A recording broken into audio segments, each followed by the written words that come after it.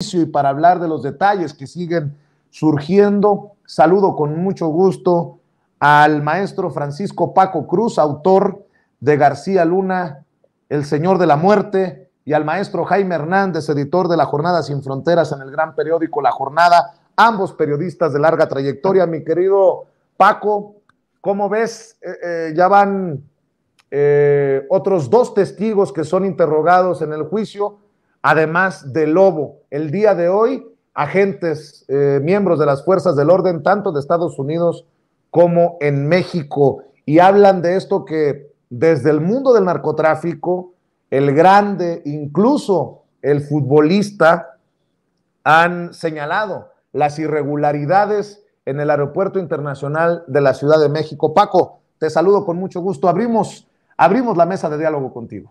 Vicente, ¿cómo estás? Buenos días. Jaime, igual, buenos días. mira, yo, estoy un poco sorprendido porque no, no, se había mencionado al general, a general secretario, el único general cuatro estrellas en el gobierno de Calderón, este Guillermo Galván Galván, había señalamientos de que, de que estaba involucrado en delitos y que él personalmente había perdonado o autorizado el perdón por lo menos a 800 efectivos del ejército que se vieron involucrados no, no, no, no solo en narcotráfico, sino en otros delitos, este, pero no se le había mencionado directamente hasta ahora. Y eso es muy importante porque nos da ya el mapa de que dentro del gobierno de Calderón había un generalato que, que controlaba el, tráfico de narcóticos.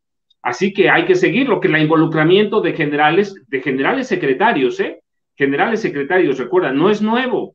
Este, en, 1984, 85, recuerda, el general secretario Juan Arevalo Gardoqui eh, eh, eh, fue señalado con, evidencia de que protegía aquel famoso rancho de Rafael Caro Quintero, en el que habían sembrado 544 hectáreas de marihuana y en el que trabajaban por lo menos 10 mil jornaleros de varios estados eh, eh, en la pizca, la cosecha de marihuana, pero que era protegido, protegido por órdenes del general Juan Arevalo Gardoqui, el secretario de, Defensa de Miguel de la Madrid.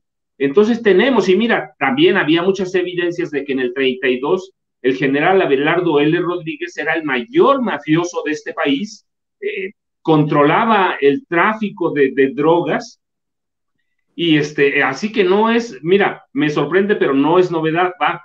Entonces, hay que tener mucho cuidado porque recuerdas, están tejiendo una historia y decíamos casi desde el principio, para, para dar o mostrar las complicidades o la cadena de complicidades del crimen organizado. Es decir, los fiscales desde el principio nos han dicho la verdad, iban a involucrar a, militares, ya están, y no solo son, no es cualquier militar, ¿eh?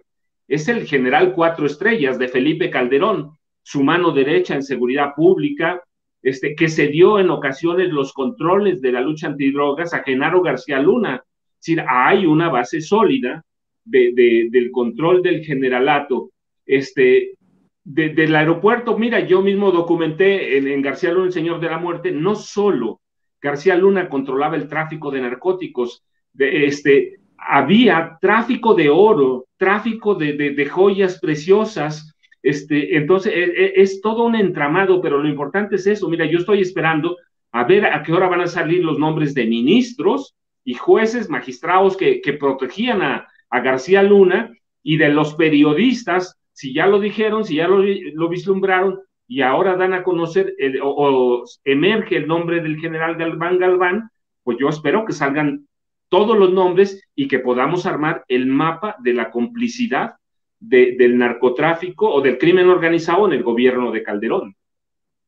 Así es, y hay que decir que en algún momento el equipo de defensa de Genaro García Luna puso en entredicho y y logró acorralar de alguna manera a El Lobo ayer, eh, a El Lobo Valencia.